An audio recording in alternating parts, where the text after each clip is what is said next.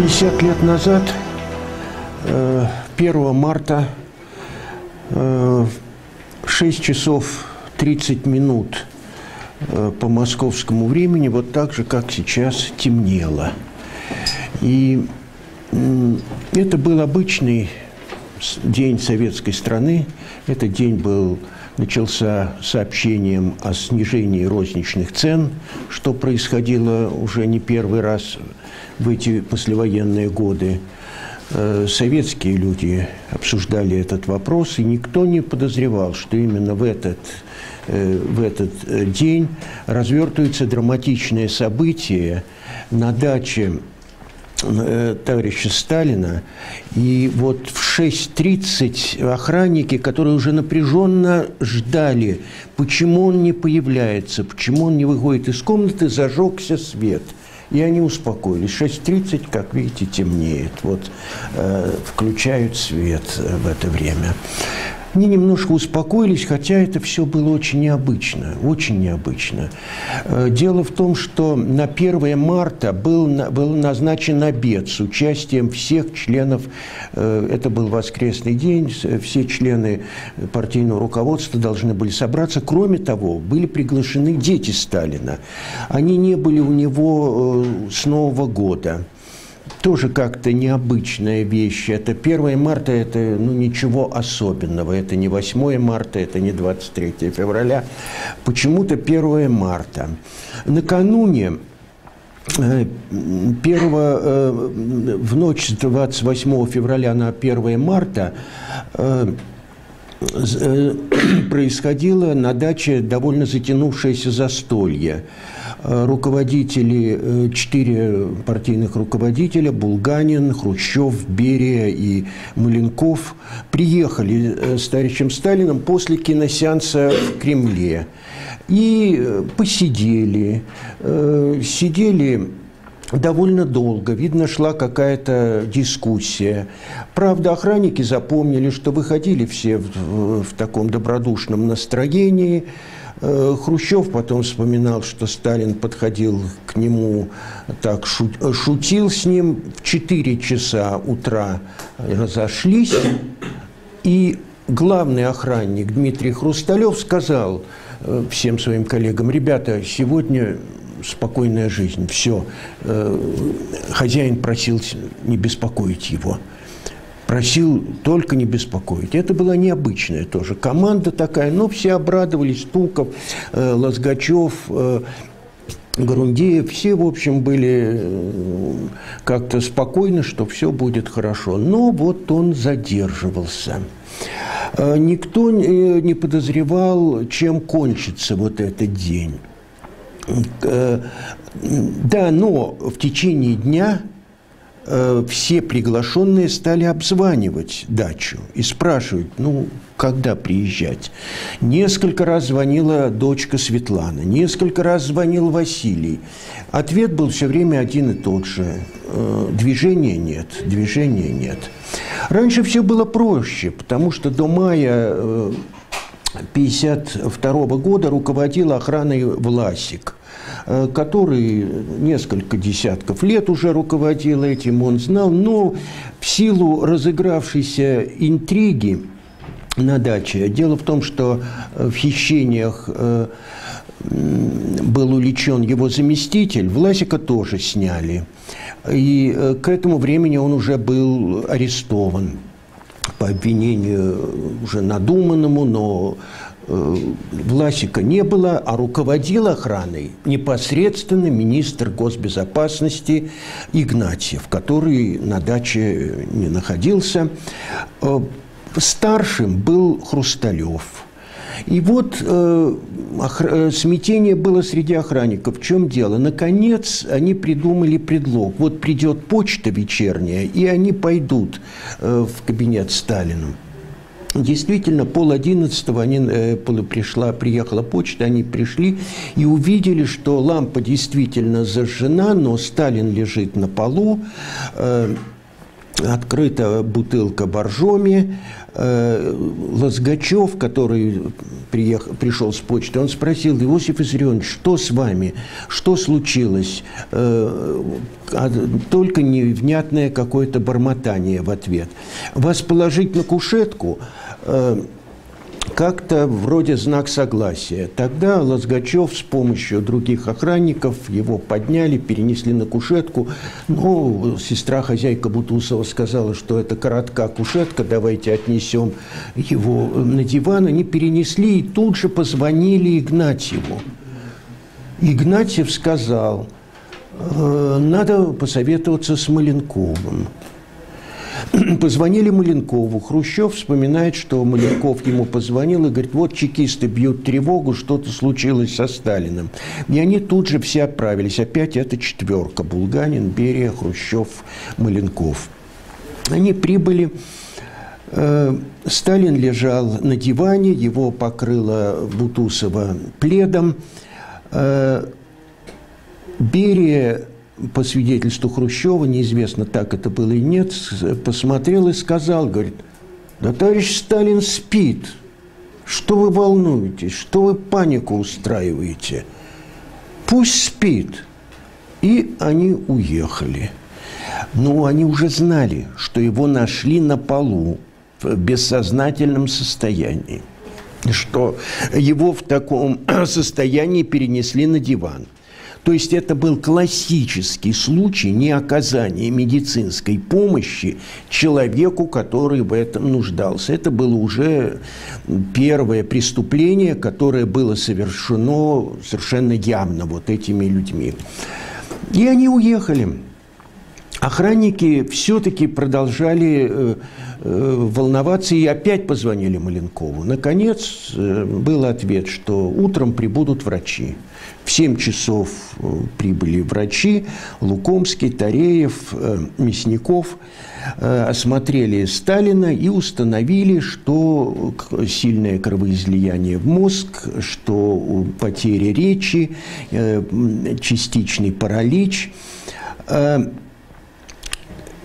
2 марта опять никто ничего не знал в советской стране о том, что происходит. Только на следующий день э, появилось сообщение, в котором говорилось, что в ночь на 2 э, марта э, у товарища Сталина, когда он находился на квартире, находился в Москве на своей квартире, произошло кровоизлияние в мозг, поразившее области, э, ответственные за жизненные центры.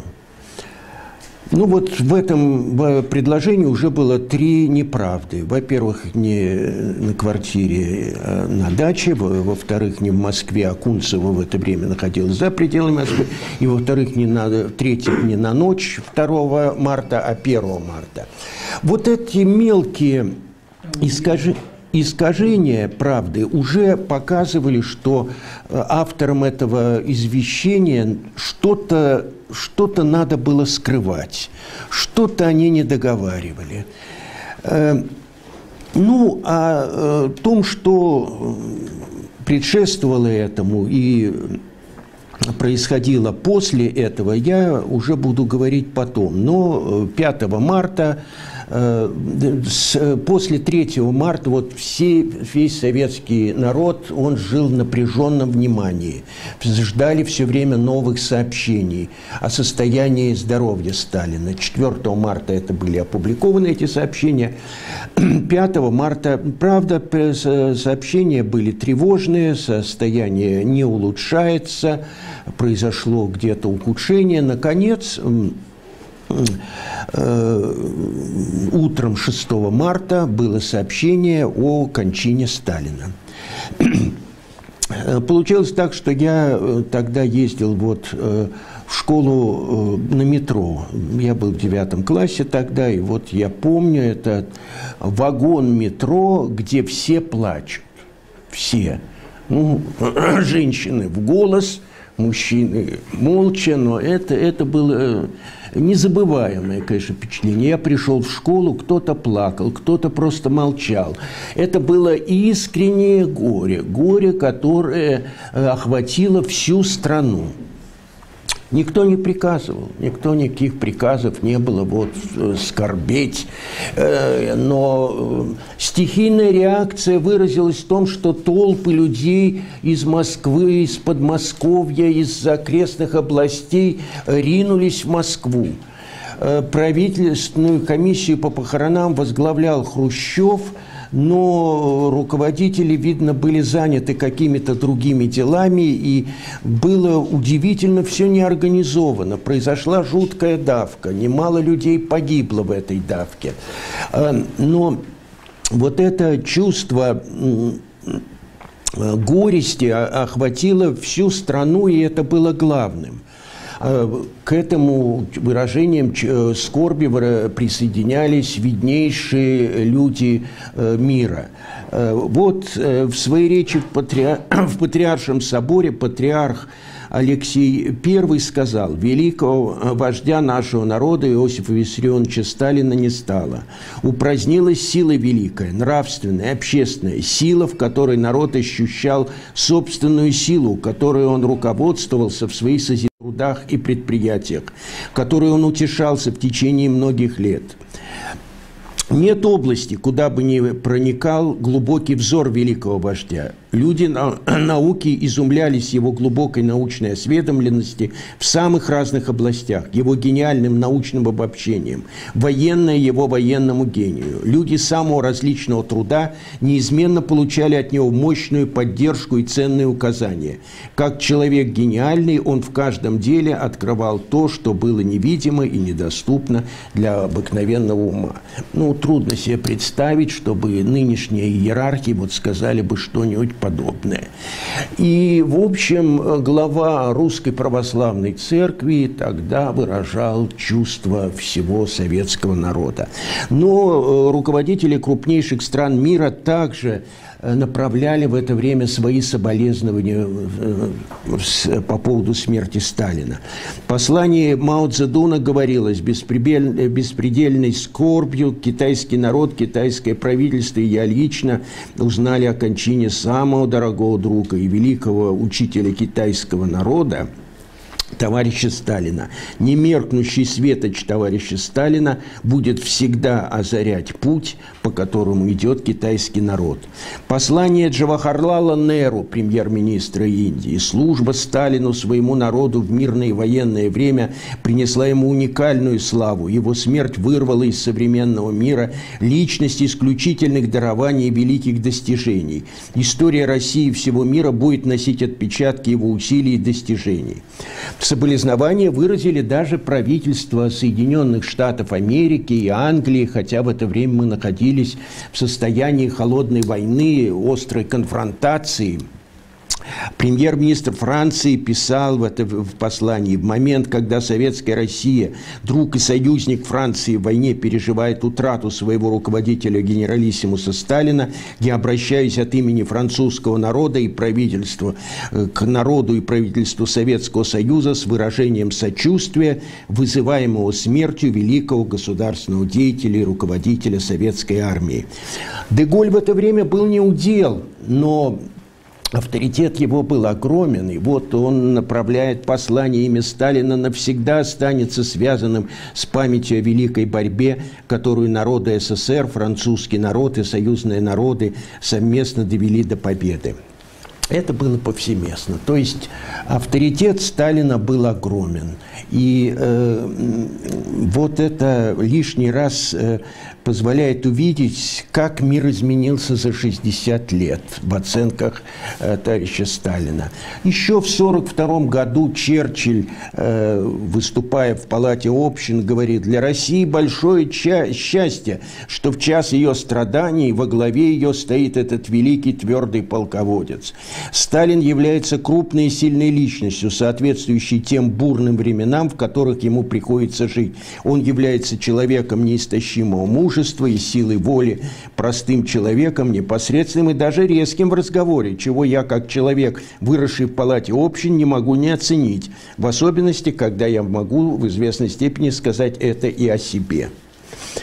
Ну вот, э, ну что же, мир изменился, и тогда э, мы можем свысока посмотреть на этих людей, э, сказать, что ну вот они были наивные, они не замечали недостатков Сталина, они э, ошибок его тяжелых ошибок, а мы сейчас вот уже умудренные историческим опытом 60 лет, можем по-другому эм, оценить Сталина. Но так ли это? Я хотел бы обратить внимание, вот как раз уже возвращаясь, так сказать, к теме выступления, наследие Сталина. Вот какое наследие Сталин ставил. По нынешним понятиям наслед... наследство Сталина было небольшим. У него на сберкнижке было 900 рублей – и э, какие-то старые вещи. Была одна у него слабость. Он собирал часы, ручные часы, коллекция целая. Но эта коллекция исчезла в первые же дни бесследно. Э, а бесследно исчезла его вторая часть экономических проблем социализма. Лично, лично ничего он не оставил своим потомкам особенного. Но Посмотрите, ведь до сих пор существуют предприятия, э, построенные э, при э, участии при, э, при участии Сталина как руководителя. И это не слова, это не просто потому, что Сталин был руководителем, вот в это время строилось то-то, то-то. Ничего подобного. Любая стройка, которая в это время происходила в сталинские годы, э, пропускалась буквально через него. Он обсуждал это на совещаниях партийного руководства, хозяйственного руководства. Э, в книжке о Беломор-канале там много конечно, э, таких ошибочных вещей, но одна вещь очень тонко замечена. Вот, говорит, ночь, э, усталый э, директор завода сидит за своим столом, раздается звонок, это звонит товарищ Сталин. Вот контроль его постоянный за тем, что делается на предприятиях страны, на стройках – он, он был дотошен, он вникал во все детали. Э, ну, мой отец э, металлург, и вот во время советско-финской войны э, было поручено сделать такой бронированный щиток перед лыжами, потому что наша борьба шла зимой, на лыжах э, э, наши перемещались, и вот, чтобы защитить стрелка, вот придумали бронированный щиток – приказ показать Сталину. Значит, пришли в Кремль, принесли там стрелок был, э, автомат, вот уложили лыжи, уложили броневой э, щиток. Сталин говорит, нет, давайте я сам проверю. Улегся на лыжи, щиток прицелился. И говорит, нет, ошибка. Бронированный щиток надо удлинить, потому что финны норовят стрелять в пах – вот надо удлинить этот щиток. Э, и это вот очень типично. Воспоминания говорят, самоходку привозили в Кремль, танк привозили в Кремль, полигон, э, на ракеты проверять. Сталин идет на ракетный полигон. Ракета сбивается с курса, все падают, в том числе и Сталин. Он говорит, еще раз давайте повторим. Э, то есть внимание ко всем деталям. Какое внимание? Вот обсуждается вопрос. Товарищ Опряткин, сколько у вас там нефти в Краснодарском крае? Он называет. А по сортности? Не знаю. Как не знаете? Вы хозяин или не хозяин? Надо знать по сортности. Обсуждается танк Т-34. Вот мой отец тоже рассказывал, как это. Вот э, какое-то приспособление придумали. Как изменится э, напряжение на ось танка, спрашивает Сталин. Незначительно, отвечает инженер. Что значит незначительно? Это не технический термин. Насколько изменится? Расскажите. Вы плохо подготовили мой, мой вопрос. То есть это, э, как Байдуков э, говорил, летчик, вот полярный летчик Байдуков рассказывает, говорит, Сталин им, говорит, никогда, говорит, не удается как-то обойти сложности вопроса. Начнет, говорит, пулять техническими терминами, и он Почему? Не просто так вот ради э, того, чтобы произвести впечатление. Он очень тщательно готовился к любой такой встрече. Он изучал литературу. Он приглашал сначала специалистов, прежде чем пойдут, э, произойдет совещание.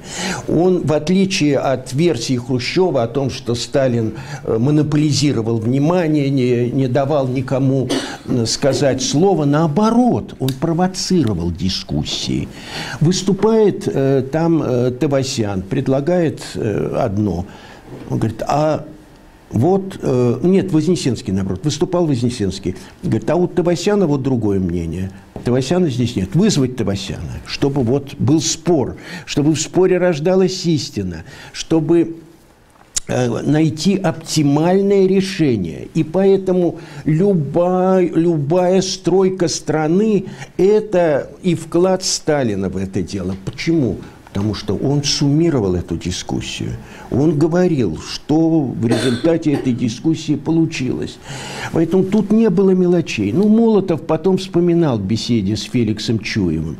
Говорит, работоспособность была какая-то изумительная. Вот, говорит, придешь к нему и скажешь, что вот проблема с танками. Танками будем заниматься. Проблема с Англией. Англией будем заниматься там. Проблема с сельским хозяйством. Будем заниматься. Ответственное отношение к делу.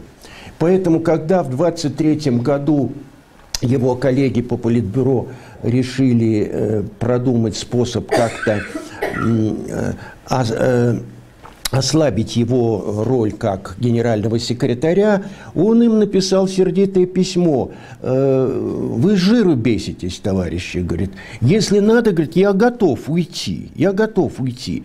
Но вы в это время там прохлаждались». Бухарин писал в это время статьи о литературе, там лишний раз там легнуть Есенина.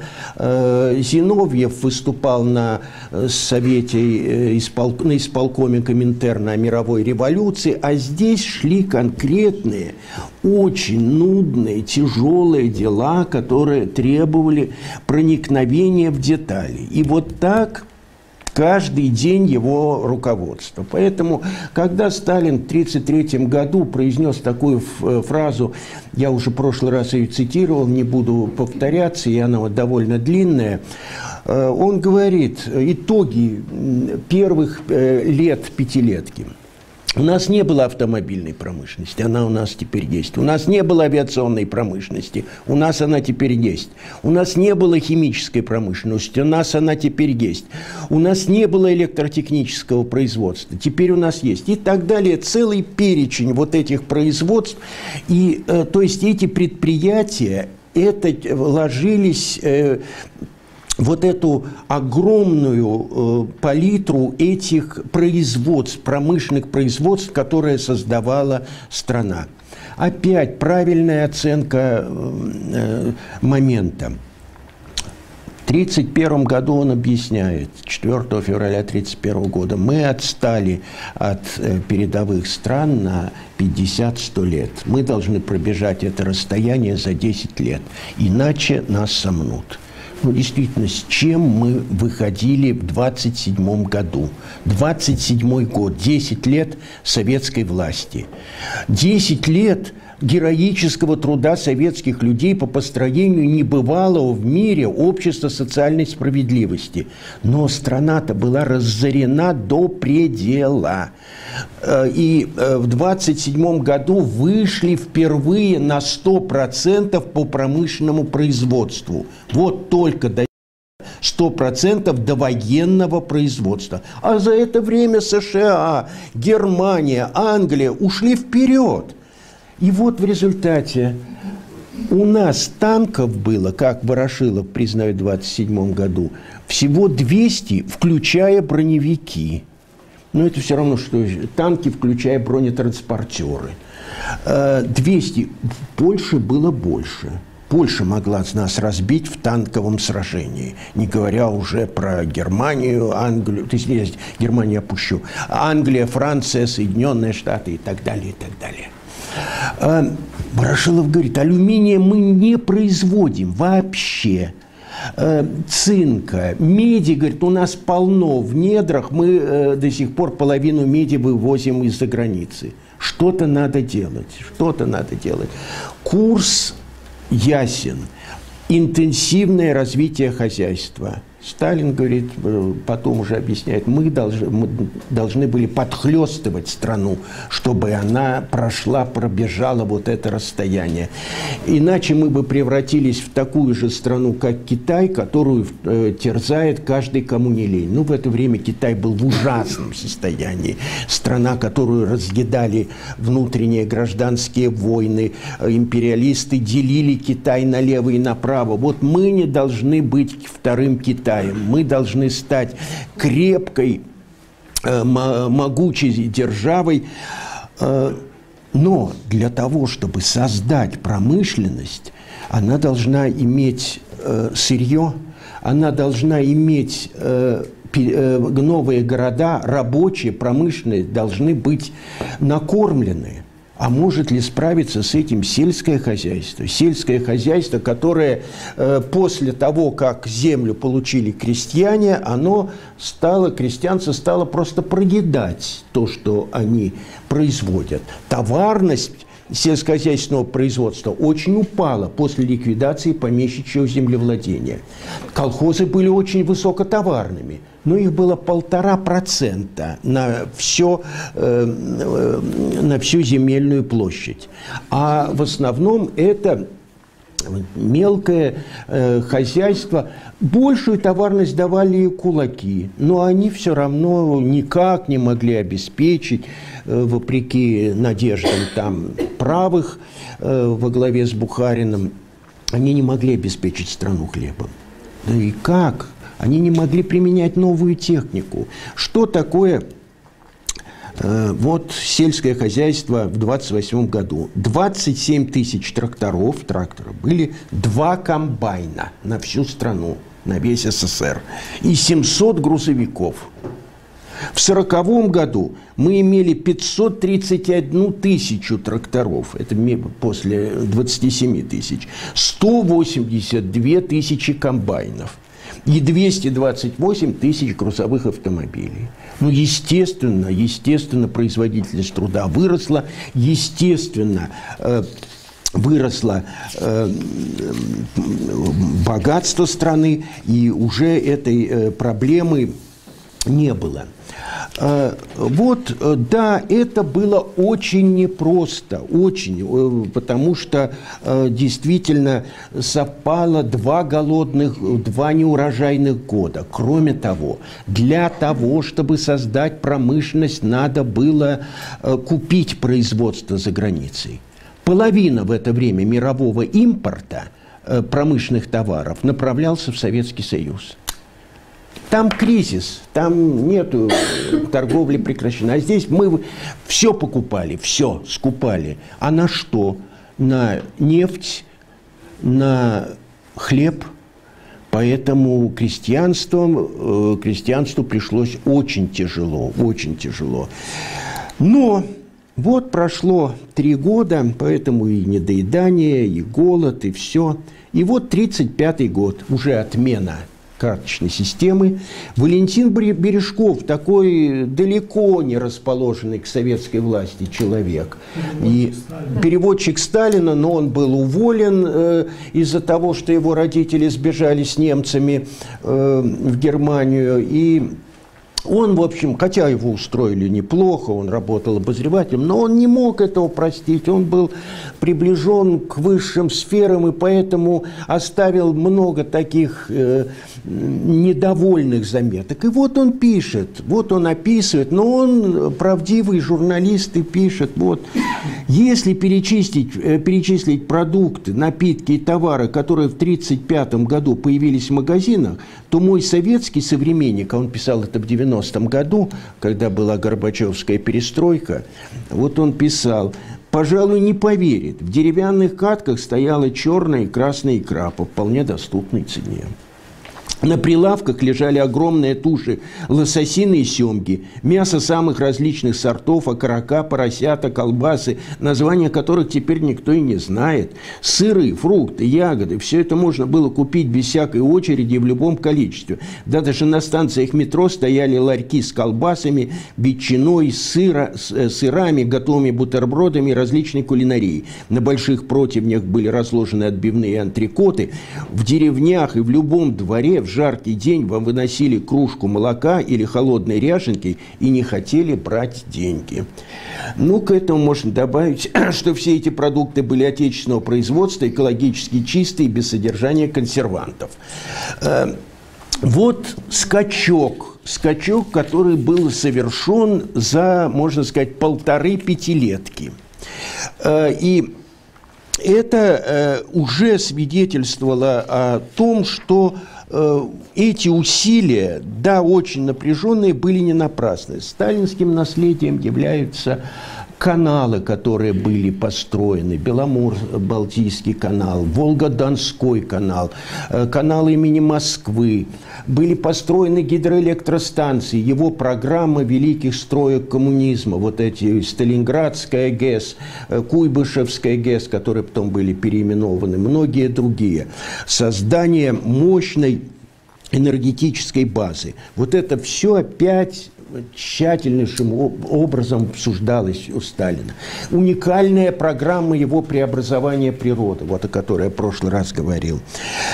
Даже внешний облик нынешних городов, он во многом обязан усилиям Сталина. Вот реконструкция, план реконструкции Москвы, это при его непосредственном участии разрабатывалось. Метро, Конечно, это и при его участии обсуждалось, и решались многие технические вопросы и прочее, прочее. Сталинские жилые дома, высотные здания, которые до сих пор, в общем, служат украшением Москвы. Э, это что, вот, э, как говорили э, журналисты, времен перестройки. Лукавая цифра? Да нет, это реальность, в которой мы и сейчас живем. Сталин, э, вот недавно был такой сюжет по НТВ передавали, что э, ряд архитекторов в Берлине обратилась ЮНЕСКО с просьбой объявить э, дома по улице Карла Маркса, Карл Маркс аллея, памятником зодчества. Она называлась раньше Сталин аллея. И строилась она, конечно, при, с ведома Сталина. И вот и это сейчас вот памятник зодчества. Берлин, Трептов парк. Это Сталин выбрал этот памятник. Ведь э, он посетил э, мастерскую Вучетича, и Вучетич ему показал макет, э, огромная фигура Сталина стоит – Сталин посмотрел и говорит, а вам не надоел этот с усами? И э, а вот это что у вас тут? И увидел фигуру солдата. Солдат держал девочку и автомат. Он говорит, знаете что, автомат это э, нечто такое современное. Меч ему вручите. То есть он вот, вот этот памятник в Трептов парке – это сталинская э, идея. Э, вот Гоголевский бульвар от, прави... от советского правительства в 1951 году. Кто возглавлял правительство? Сталин. Конечно, этот памятник тоже был продуман Сталиным. То есть внешний об Варшава, как там ненавидят сейчас Сталина, как там нас ненавидят э, просто оптом и розница. А в центре города стоит дворец науки, с, э, созданный по инициативе Сталина, и э, архитектура его обсуждалась с э, Сталином. Сталинская высотка такая, такого со да? Да, да, да, да, да, да, да. Сталинское наследие – это могучий оборонный комплекс, который до сих пор спасает нашу страну, ее независимость, ее э, самостоятельность. Э, причем, насколько был прозорлив Сталин. Вот э, взять э, воспоминания адмирала Исакова. 1933 год. Проезжает маленький караван военных судов через Беломоро-Балтийский канал из Балтийского моря Белое. Там на одном из судов Сталин. В полярном, в кают-компании миноносца, глядя в иллюминаторы, словно разговаривая с самим собой, Сталин вдруг сказал, что такое Черное море? Лоханка. Что такое Балтийское море? Бутылка, а пробка не у нас. Вот здесь море, здесь окно. Здесь должен быть большой флот, здесь. Отсюда мы сможем взять за живой, если понадобится Англию и Америку. Больше неоткуда. И Исаков говорит, что в это время никто, даже среди военно-морских специалистов, не думал о том, что большой флот будет создан на севере. А потом уже вот Юрий Висбор сочинял песню «И пять океанов земли качает Северный флот». Так идея этого Северного флота была заложена Сталиным. Прозорливость. А, вот сравнить. А, как известно, Америка опередила нас в создании атомного оружия. Но они чуть было не прошляпили. Потому что никто иной, как Альберт Эйнштейн, написал не кому-нибудь, а президенту США Рузвельту письмо в 1939 году, где доказывал, что срочно надо сосредоточить все усилия Америки, чтобы создать атомное оружие, пока его не создали немцы. Рузвельт сказал, что это очень важная вещь. И письмо было положено в долгий ящик. Сороковой год. Эйнштейн пишет второе письмо. Немцы в это время э, захватили всю континентальную Западную Европу. Он пишет тревожное письмо, что срочно, срочно надо. М-м, хорошо. Выделить 6 тысяч долларов на создание атомного оружия. Ну, 6 тысяч долларов – это смехотворная цена. Только когда произошел Перл-Харбор, когда, наконец, японцы затопили значительную часть американского флота, только тогда вспомнили об этом письме Эйнштейна. Вот такова реакция, в общем-то, очень умного, прозорливого западного деятеля Рузвельта. И реакция Сталина. В 1943 году рядовой Флеров, физик, э, мобилизованный в армию, пишет Сталину военной полевой почтой письмо, где высказывает соображение, что надо срочно заняться атомным оружием. В считанные дни Флерова вызывает в Кремль. И вот уже в феврале, 11 февраля 1943 года Сталин подписывает постановление об организации работ по использованию атомной энергии в военных целях. Э, сколько примеров этого? Голованов, просто летчик аэрофлота, э, пишет письмо где-то в 1941 году, в начале, война еще не началась, он пишет письмо, что хорошо бы, хорошо бы вот создать эту дальнобойную авиацию, такую авиацию дальнего действия. И пишет в Кремль. Вдруг ему звонок, что вот э, за вами будет послана машина, и э, вас значит, вызывает Кремль. Он считает, что это розыгрыш, что это чепуха, не может этого быть. Нет, действительно, действительно. Все, и Голованову уже поручают заняться этим делом. Э, разработка э, взрывчатки. То же самое. Вызывают э, человека, который изобрел новую взрывчатку, его поддерживают. И поддерживает Сталин наконец, э, то есть подготовка э, к обороне нашей страны велась очень серьезно, э, ответственно.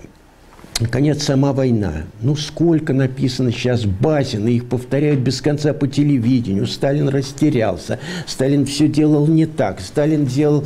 Э, победа была одержана вопреки Сталину. Но если обратиться к воспоминаниям тех, кто на самом деле знал Сталина в это время, то видно, что каждый день войны это был день э, сталинских усилий, направленных на разгром врага, на одержание победы. Три раза в день он выслушивал доклады о состоянии фронта три раза в день. Причем знал обстановку прекрасно. Он знал по именам отчества всех командующих фронтами, командующих армий и фами, пофамильно почти всех командиров дивизий. Он очень хорошо знал обстановку. Если обсуждался какая, какая-то операция, то обязательно накануне Сталин звал себе специалистов по этому участку фронта, которые с ним обсуждали этот вопрос, выясняли, как, что. Он корпел над картой. И потом уже подготовленный встречался с представителями фронта, где решались те или иные вопросы. Поэтому здесь Сейчас с важным видом э, режиссер э, э, этот Розовский говорит, надо было воевать не э, э, числом, а умением. Вот Сталин не, этого не знал, ничего подобного. На самом деле, еще в мае 1942 года у него есть приказ, направленный Тимошенко. Тимошенко просит дать ему резервы. Сталин говорит, нет резервов. Если бы говорит, были, э, на, на рынке продавались, я бы говорит, купил вам одну другую дивизию. Нету. А надо воевать не числом, а умением. Это он прекрасно знал, эту истину. И выбирал, в общем, наиболее э, точные какие-то наиболее удачные варианты, поэтому как вот Сталинградская битва, план Сталинградской битвы разрабатывался при непосредственном участии Сталина. Жуков и Василевский предложили решение, тут же Сталин и поддержал. Они только высказали, надо искать другое решение. Сталин из другого конца кабинета говорит, какое другое решение? Давайте вот направляйтесь в Генштаб, продумайте, что вы предлагаете. Вот как искорку какую-то он поймал, он уже уже раздувает э, эту искорку, чтобы из этого получилось пламя и так далее. Так далее. А, и вот это конечно, все э, значительно, то есть сталинское наследие – это победа, это победа. Сейчас ведь что получилось? Отмечаем э, этот парад 7 ноября 1941 года. Ни разу не скажут, что это в честь была Октябрьская годовщина Октябрьской революции, что на мавзолее стоял Сталин, что он произнес главную речь э, на этом параде, как будто этого не было отмечают День Победы, никогда не вспомнят э, о роли Сталина, э, о том, что он был верховный главнокомандующий, он был верховный главнокомандующий, нарком обороны, председатель э, Государственного комитета обороны, председатель Совета народных комиссаров, генеральный секретарь правящей партии. Э, и он очень серьезно относился ко всем этим делам. Поэтому, конечно, победа – это тоже наследие. Что было бы, если бы у нас не было победы? А вот мнение э, такого специалиста, э, человека, который может, мог судить по этому поводу – в те тяжелые, Риббентроп вспоминает, в те тяжелые дни после окончания боев со Сталинград у меня состоялся весьма примечательный разговор с Адольфом Гитлером. Он говорил в присущей ему манере о Сталине с большим восхищением. Он сказал, на этом примере снова видно, какое значение может иметь один человек для целой нации. Любой другой народ после сокрушительных ударов, полученных в 1941-1942 годах, вне всякого сомнения оказался бы сломленным. Если с Россией этого не случилось, то своей победой русский народ обязан только железной твердости этого человека, несгибаемой воли и героизм которого призвали и привели народ к продолжению сопротивления. Сталин – это именно тот крупный противник, которого он имеет как в мировоззренческом, так и в военном отношении. Если когда-нибудь Гитлер еще не упускает надежды на победу, если тот когда-нибудь попадет в его руки, он окажет ему все свое уважение и предоставит самый прекрасный замок во всей Германии. Но на свободу, добавил Гитлер, он такого противника уже никогда не выпустит. Создание Красной Армии – грандиозное дело, а сам Сталин, без сомнения, историческая личность совершенно огромного масштаба. Но Конечно, о войне все-таки у нас помнят, помнят, чтят память 9 мая, хотя несправедливо замалчивают память э, руководителя организатора этой победы. Но была и мирная жизнь, ведь наша страна – это бы страна, которая строила социализм, общество социальной справедливости. Впервые в мире были установлены бесплатность образования, бесплатность социального обеспечения, бесплатность здравоохранения, э, ликвидация безработицы и так далее, и так далее. И вот реально воплощение, воплощение этого материальная база этого была создана, конечно, в сталинские пятилетки. Вот, скажем, взять только несколько цифр. Врачи. 13 год – 28 тысяч врачей. 50 год, конец-то, 155 тысяч. Медперсонал, 13 год – 46 тысяч. 50 год – 472 тысячи. Больничные учреждения, 13 год – 5,3 тысячи, 50 год – 13,8 тысяч. Э, больничные койки в 4 раза увеличились. Детские сады и ясли в 27 году 2000 э, 50-й год 25 тысяч. Вот какие темпы развития. Ну, страна в это время бешено развивалась. 17% ежегодно предвоенные темпы. Сейчас вот мы восхищаемся Китаем. 9%. А у нас в два раза больше было. В два раза больше. 17% ежегодно. Тот путь, который пробежала страна, за э, сталинские пятилетки Америка проходила 40 лет. Хотя в это время, для того времени, Америка развивалась невиданными темпами. Ну вот, возвращаясь опять к социальному, вот пионерские лагеря, которых не было никогда в мире, ну, были байскауты, ну, такого масштаба, развитие физкультуры и спорта. И вот, с довоенного времени смертность сократилась почти в два раза э, – с 32,4 на тысячу человек до 17,4 в 1939 году на тысячу. Ну как нам говорят, Сталин – это палач – Велихов выступал недавно, в этом совершенно секретно. Вот некоторые, говорят, молятся на Сталина как на икону, а вот Анна Ахматова сказала, что это самый кровавый палач – ну, во-первых, Анна Ахматова, это, где она сказала, это неизвестно. Зато известно, что в 1949 году она опубликовала два стихотворения в честь Сталина по случаю его 70-летия. Ну, Анна Ахматова, как специалист по истории, я не слышал. Да, лирические стихотворения, там, переживания и прочее. Э, но залил кровью страну. Страшный человек. В 22 году 136 миллионов в, в нашей стране, в СССР. В 40, в 40 году 194 миллиона. На 58 миллионов больше.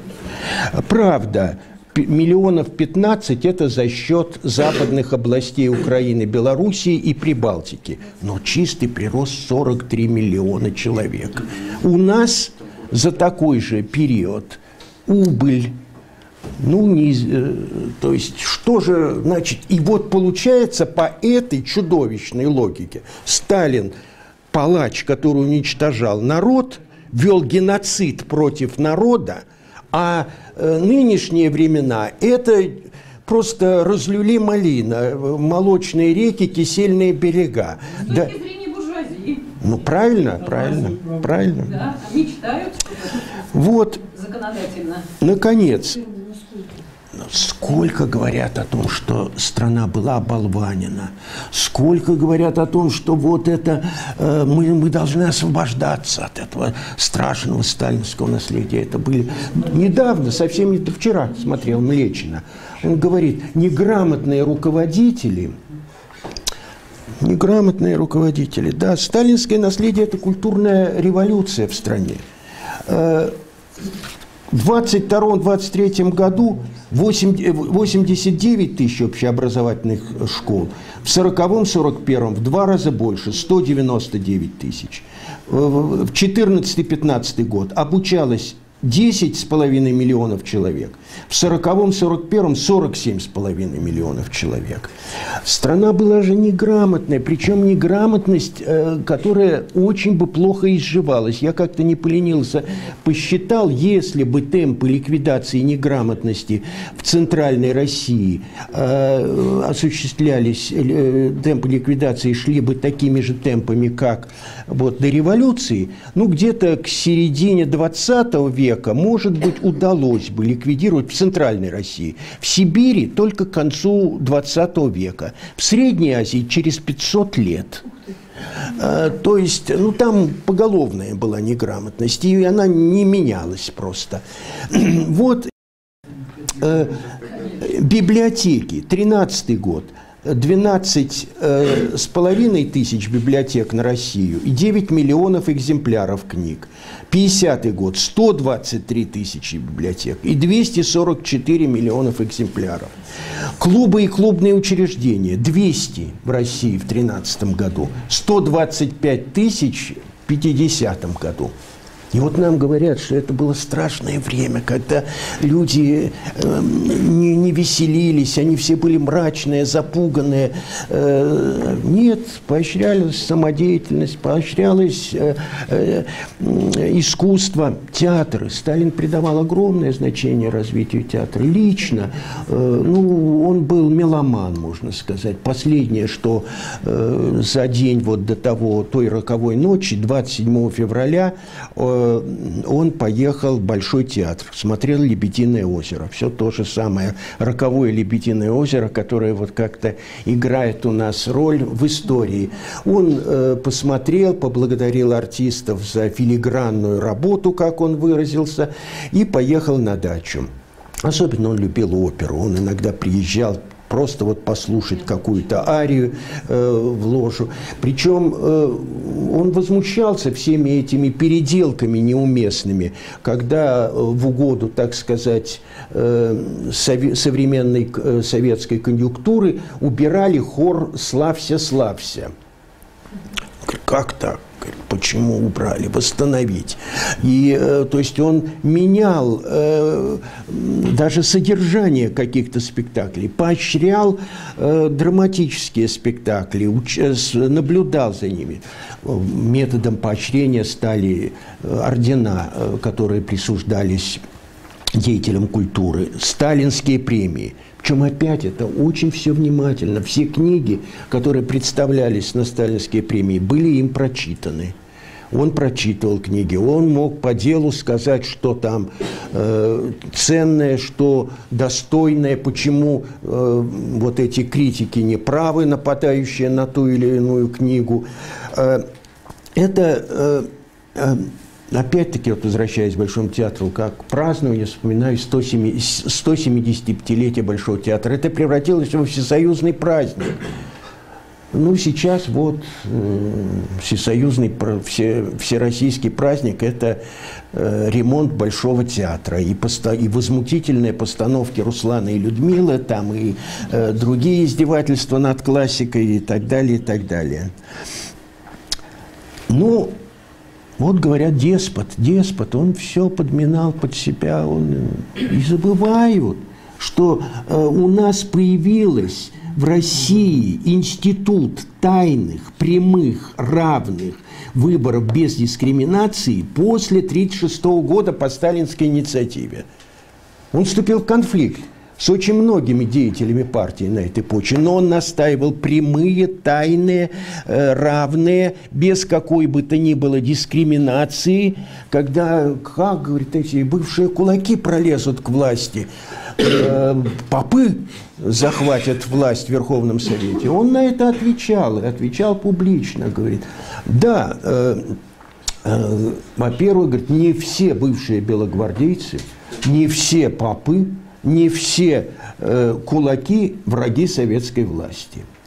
А если мы пропустим э, врагов в Верховный Совет, это уже позор наш. И никакие административные меры тут не надо применять. Это позор нашей агитации и пропаганды. бюллетень, который э, утвердил Сталин, э, именно по его настоянию, там было написано, оставьте в бюллетене фамилию одного кандидата, только одного кандидата, так выделено крупными, только одного кандидата, а остальные вычеркните. Он исходил из того, что будут альтернативные выборы, что будет несколько кандидатов. В августе 1937 года это было уже договорено. Но сопротивление подавляющего большинства членов ЦК привело к тому, что альтернативные выборы не состоялись. А бюллетень уже нельзя э, отменить. Сталин утвердил.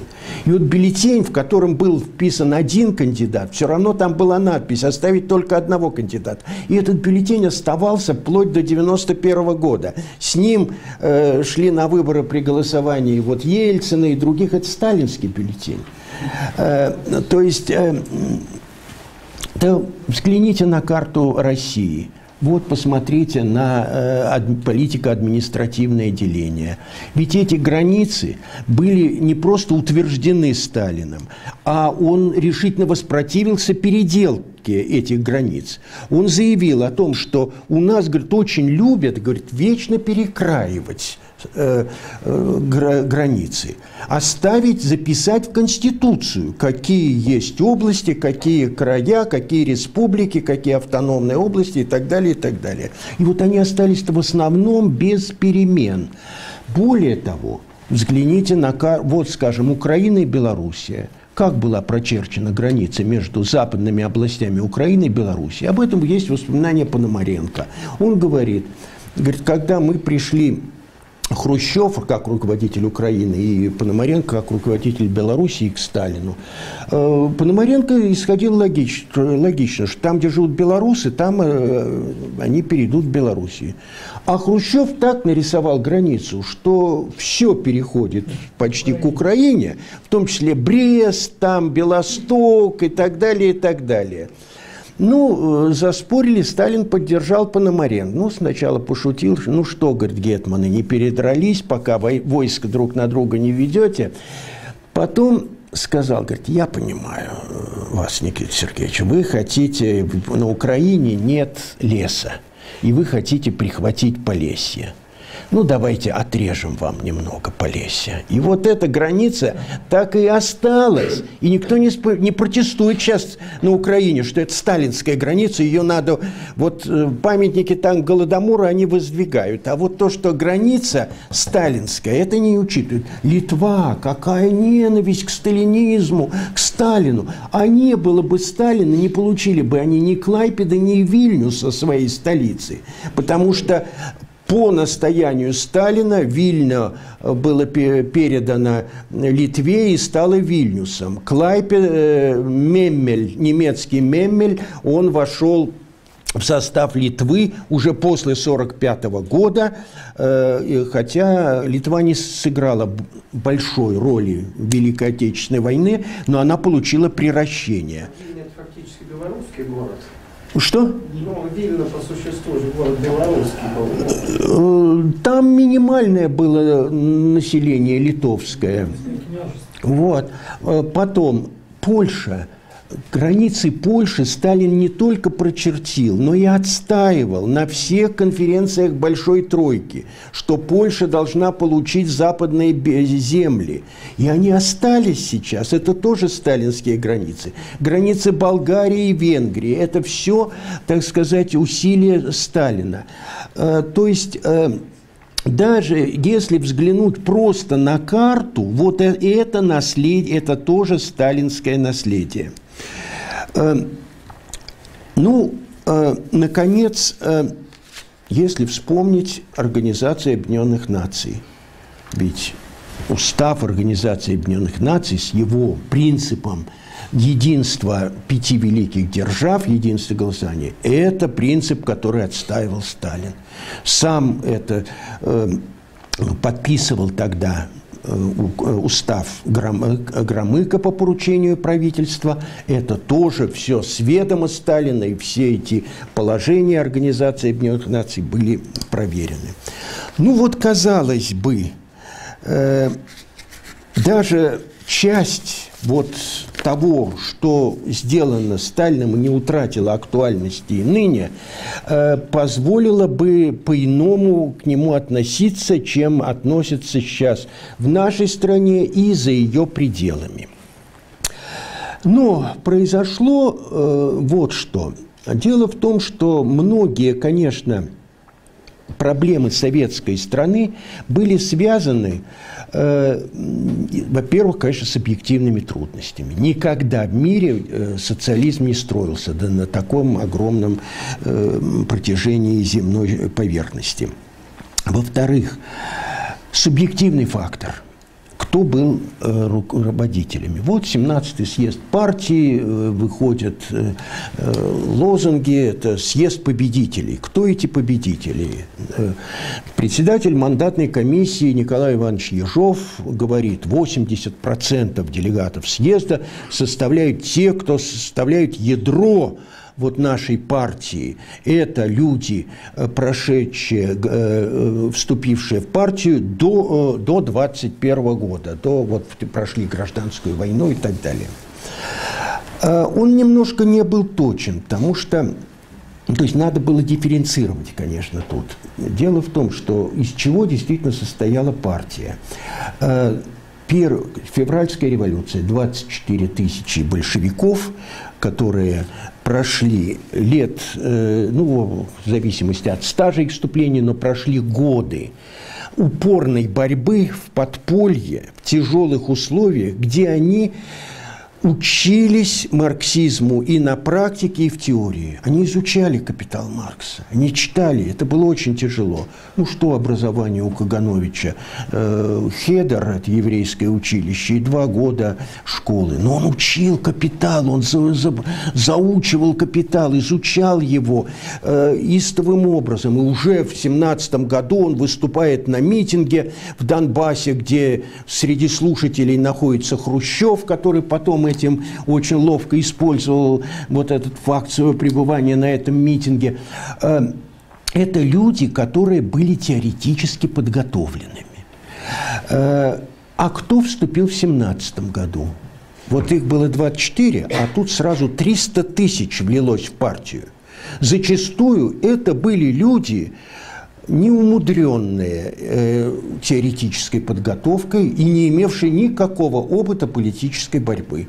Они были на митингах, они слушали речи ораторов. Вот это очень ярко описал Аркадий Гайдар, как вот он, Аркаша Голиков, пошел на митинг, услышал, вот пламенная речь анархиста, ну, здорово, говорит, а вот эсер, еще лучше. А вот кто-то выступает и говорит, да здравствует светлое царство социализма. Это очень понравилось Аркаше. И он пишет заявление, хочу вступить в большевистскую партию, чтобы войти в царство социализма. Это было на эмоциональной волне. Очень многие люди, которые вступили самыми чистыми намерениями, они э, в общем, хотели лучшего, хотели революции. Если первые люди, 24 тысячи, это были тщательно подготовленные кадры, но знавшие, что реально пока у большевиков никаких шансов прийти к власти нет. Эти уже на что-то надеялись на быструю победу.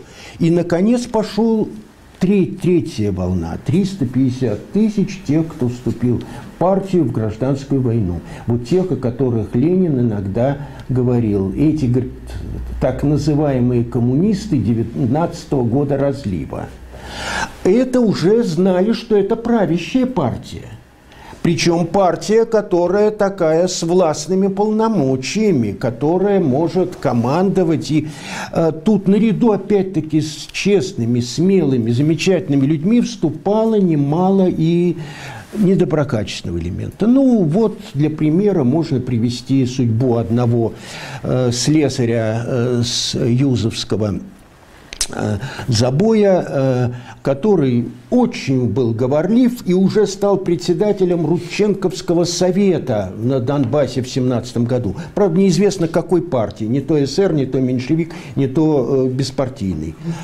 Да, Никита Сергеевич Хрущев. А потом вдруг узнает Никита Сергеевич, что в его родной Калиновке-то в это время землю делят – э, помещичью. И он бросает все свои эти посты и едет делить землю. Он делит землю, а в это время ситуация меняется, и Никита Сергеевича забирают в Красную армию, уже призыв. Но в армии он вступает быстро в большевистскую партию. И очень быстро становится комиссаром стройбата. И вот стройбате он прошел всю гражданскую войну. В общем, не на передовых позициях был. Но, тем не менее, говорлив, умеет э, произнести яркую речь. И таких вот было немало. И дело, дело-то в том, что уже вот в 2020 году анкетирование показало, что э, среди членов партии людей с высшим образованием, ну, процента 2-3 процентов 10-15 со средним образованием. Остальные низшие, домашние и какое-то никакое. И какой-то процент неграмотных. Это более-менее соответствовало образов... уровню образования всей России. Россия была тогда очень неграмотная, необразованная. Но у них была власть. Потому что, вот скажем, по анкетах писали, 57% всех членов партии – это рабочие – но в 2020 году они уже не работали. Работало там процентов 12. Они уже имели начальнические должности. Э, да, крестьяне. Там что-то процентов 15 было из крестьян. Но ни один уже крестьянин не пахал землю. Они уже были начальниками. И вот это привело к тому, да, на первых порах, может быть, это было и не так страшно. Они деловитые, энергичные, они говорливые, они могут захватить своими речами, поднять энтузиазм, но они не росли, они не развивались. И э, а в это время уже страна получила возможности дать огромной массе людей неплохое образование. Уже появлялись свои специалисты. А у власти оставалось, вот как сказал Николай Иванович Ежов – вот эти кадры, 80% это те, кто вступил до 21 года. Они 20 лет уже, ну 17 лет в 1934 году у власти. Поэтому товарищ Сталин ужасно любил картину «Волга-Волга». Вот это Бывалов, это его главный враг – вот, вот против кого он боролся. Вот против этих людей, тупых, ограниченных, самоуверенных, карьеристов, которые губили дело, которые внос, э, проводили коллективизацию не нужно командными методами. И Сталин был вынужден выправлять, посылать хлеб э, разграбленному Верхнедонскому району по просьбе Шолохова, потому что вот эти деятели, они, они старались быть первыми, они устраивали соревнования, какой, э, какая область быстрее коллективизируется.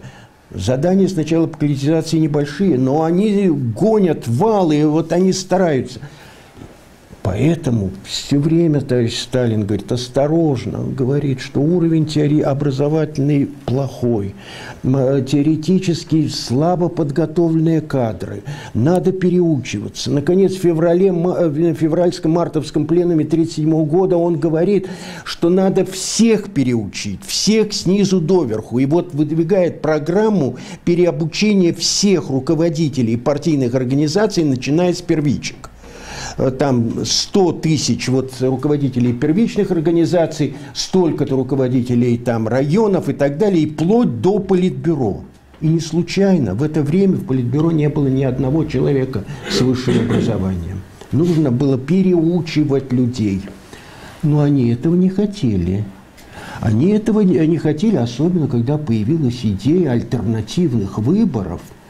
Это значит, люди-то будут судить по делам, по э, уровню этих людей, а вдруг они пролетят. И вот тогда, как зараза, пошли э, заявления о том, что вся страна опутана сетью контрреволюционных центров, э, бывшие кулаки, бывшие эсеры и прочие, прочие, вот они готовят, э, готовятся прийти к власти – зарубить эти выборы, сорвать эти выборы.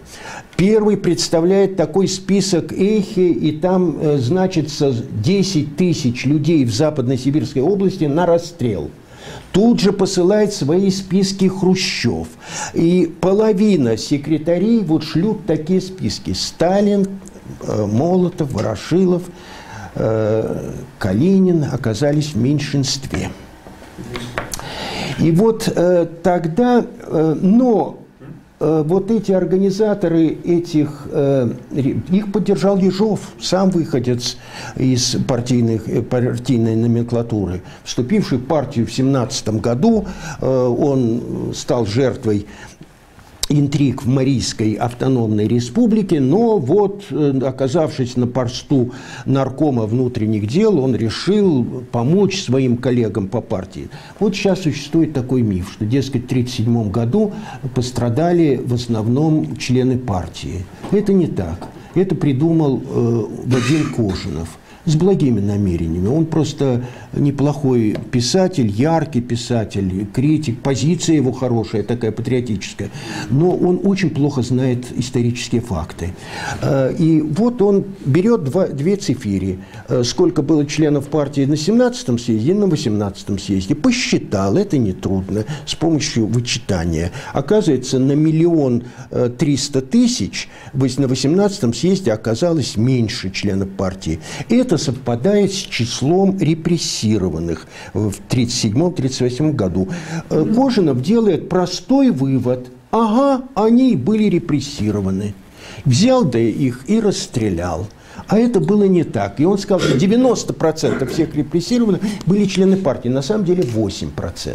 Ну, ошибочка небольшая, так, в 10 раз.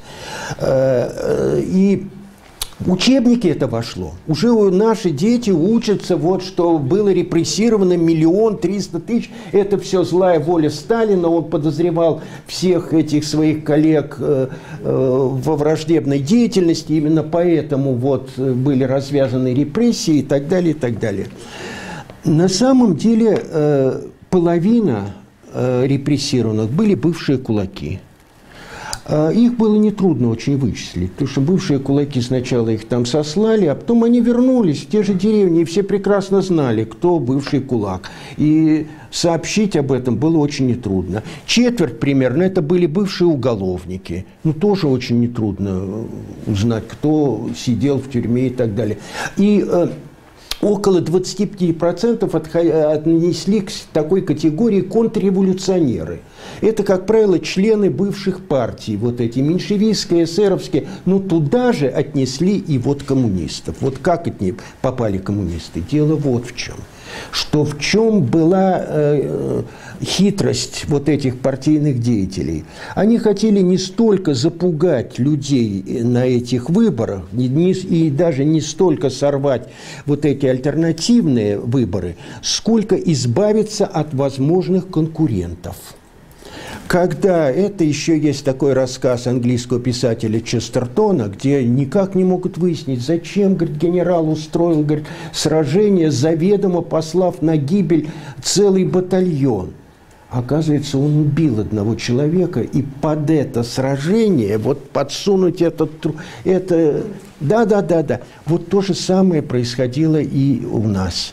Э, если посмотреть состав МГК, МК партии, э, районных комитетов партии Московской области, то есть тем хозяйством, которое руководил Хрущев, то можно увидеть, допустим, там 65 э, членов МГК, из них 63 было репрессировано с ведома Хрущева.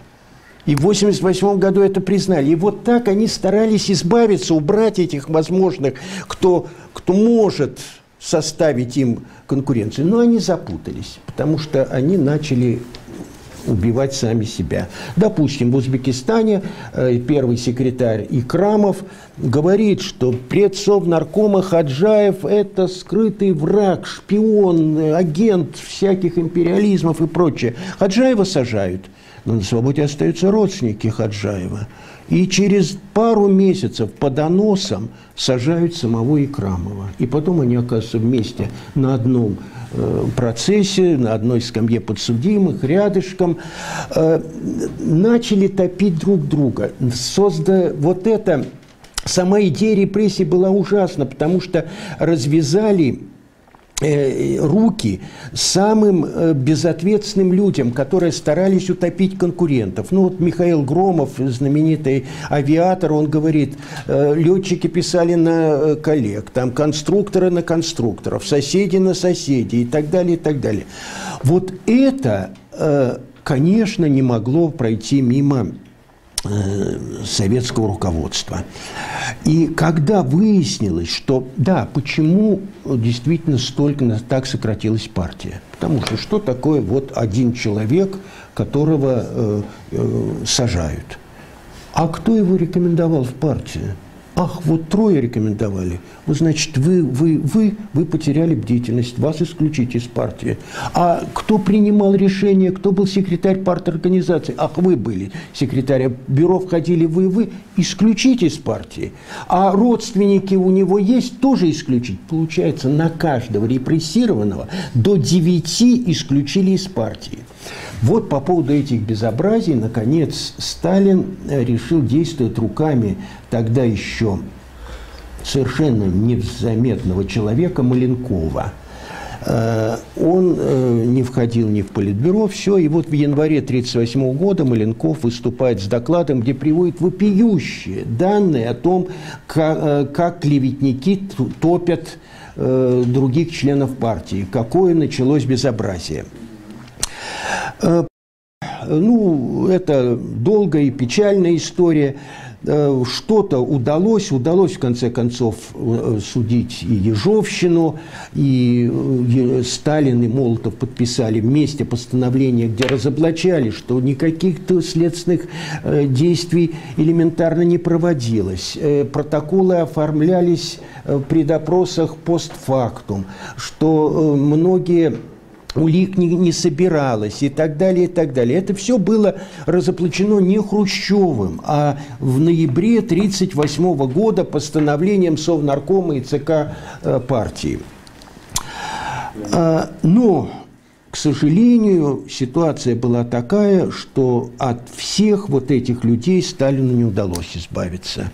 Остались э, очень многие э, люди вот этой этого разлива 19 года, что ли. А, пред, пред, приближалась война. И надо было, конечно, полагаться на то, что имеется в руководстве.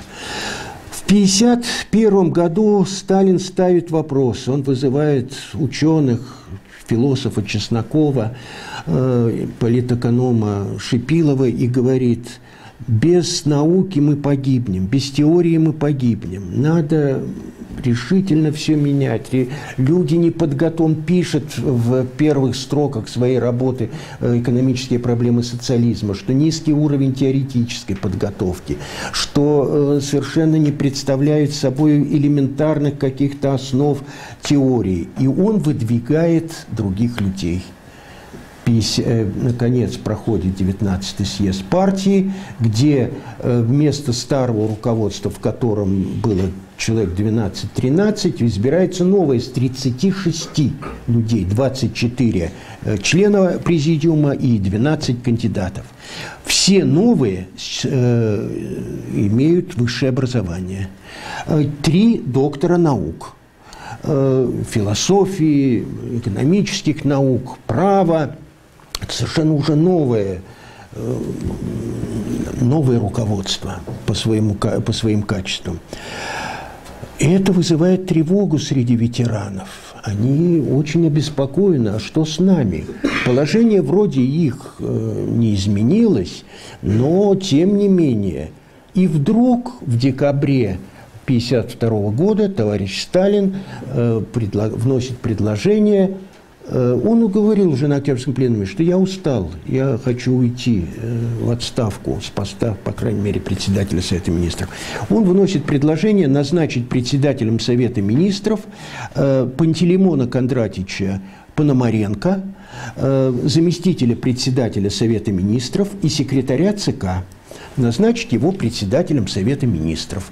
Он знал хорошо, это человек с высшим образованием, работал на современном производстве, блестяще показал себя в годы Великой Отечественной войны как руководитель партизанским движением, умело руководил Белоруссией по восстановлению Белоруссии.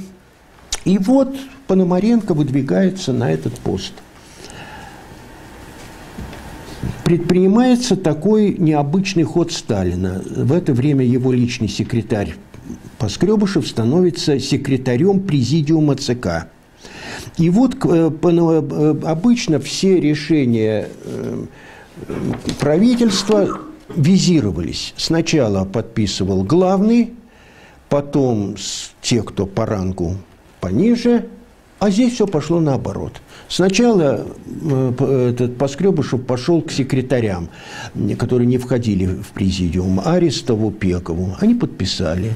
Подписали кандидаты. И потом стали, э, значит, Молотов подписал, там Микоян подписал, Каганович подписал. Не подписали четверо. Не подписал Булганин, Хрущев, Берия, Маленков. Они не подписали. А дальше вот разыгрывались вот те события, которые, э, с которых я начал. То есть, и что произошло? Э, Сталин еще был жив, да, у него была агония. Но за два часа до того, как он умер, было создано, э, созвано э, совместное заседание Совета министров, Президиума Верховного Совета и Президиума ЦК КПСС, где срочно были переформированы все руководящие органы. Все те, кто был э, избран на, после 19 съезда, все были исключены за исключением Первухина и Сабурова. Вот двое только было, два исключения. Остальные все были исключены. А, что касается Пономаренко, то в течение последующих дней он был а, лишен поста зампредседателя Совета Министров, он был лишен поста секретаря ЦК, и затем вдруг объявили, что у нас срочно нужно создавать вот сталинские траурные дни, это все не знают, куда мы пойдем. Нет, надо создать Министерство культуры и назначить этим министром Пономаренко. То есть вот если кто-то что-то слышал, что какое-то назначение Пономаренко готов, да нет, речь шла о Министерстве культуры. И побыл он министром культуры, а затем в Казахстан его, в Казахстан. Вот оттуда куда-то в Польшу, Непал послом и так далее, чтобы забыли, как страшный сон об этом Пономаренко. Это фактически был государственный переворот.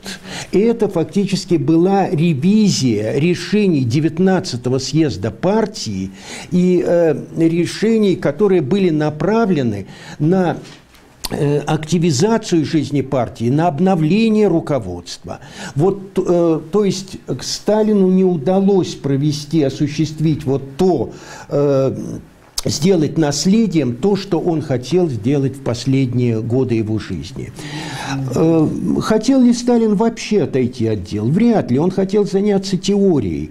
Возможно, он сохранил бы, конечно, ну как Дэн Сяопин вот в Китае – отошел от дел, но реально руководил делами всеми, Дэн Саопин, а текучка э, уже вот Дзян Цзиньбао там и так далее, и прочее, и прочее. Э, то есть, э, конечно, э, Сталину далеко не все удалось. Но вот то, что у нас есть сильного, мощного э, и позитивного – вот это, этому мы во многом обязаны товарищу Сталину.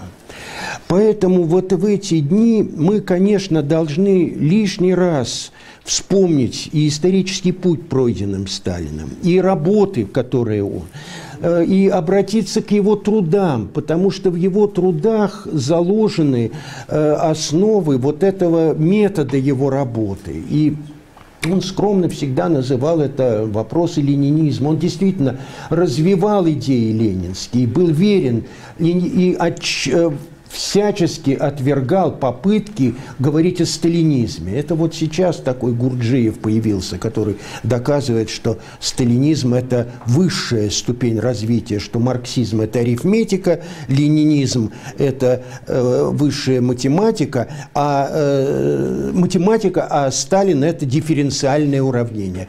Но это э, совершенно убогая в идейном отношении книга. Э, но э, Сталин был учеником, он несколько на Октябрьском пленуме говорит, я ученик Ленина, я ученик Ленина. Вот, э, ну, к сожалению, с 1956 года труды Сталина фактически э, оказались под запретом. Мы перестали изучать их, мы перестали читать э, э, его э, работы. А очень же важно его исторический метод анализа действительности. Не просто вот э, приказном порядке то да то да то сделать. Анализ, почему мы подошли к этому историческому времени. Вот всегда же у него первый этап, второй этап, третий этап, 10 сталинских ударов, там, э, как превра... почему э, одно превращается в другое. На основе диалектики общественного развития, э, си, э, такие-то движущие силы, как они преобразуют. Вот сталинский метод, конечно, сейчас очень нужен, и поэтому, говоря о том, что Сталин э, с нами сейчас, надо говорить о том, что Сталин, и, конечно, это наше, во многом будет определять наше будущее. Все вот, что я хотел бы сказать.